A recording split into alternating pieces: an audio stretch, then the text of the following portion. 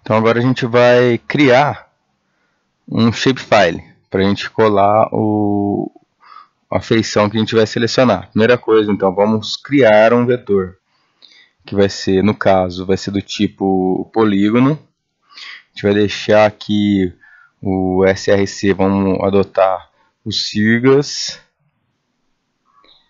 Aqui é o que a gente está adotando no nosso projeto. E dá OK.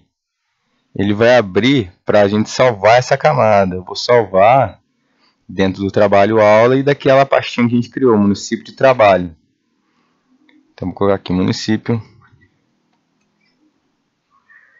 No caso aqui vou colocar Poços de Caldas que eu vou buscar ele. Então, município de Poços de Caldas. E vou salvar. Ele já apareceu aqui, né? mas não tem nenhuma feição ainda nesse arquivo, nessa, nesse, nessa camada. Tá?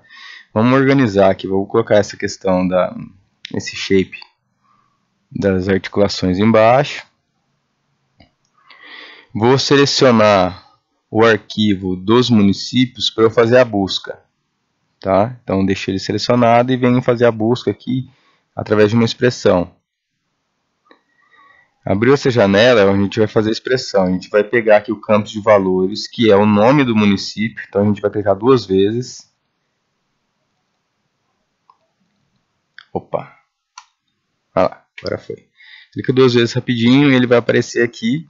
A gente vai colocar igual Quero que o nome do município seja igual. Eu vou buscar aqui agora Posto de Caldas.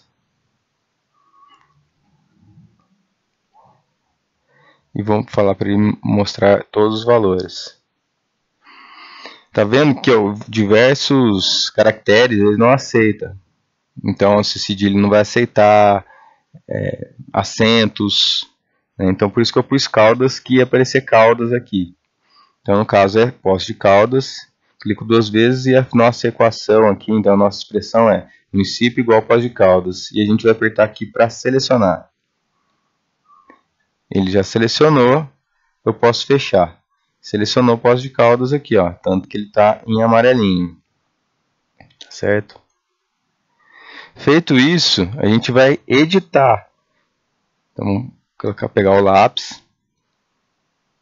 E já está selecionado o nosso município. Vou dar um Ctrl C, vou clicar na, na camada do município que a gente acabou de criar, colocar para editar também, um lapisinho, e vou dar o Ctrl V agora. Lá, uma feição foi colada com sucesso. Tá? Agora eu posso tirar o lápis daqui. Quero gravar as mudanças nessa camada? Quero. E aqui a gente pode desselecionar também os municípios. Feito isso, vou clicar aqui, né, para desselecionar.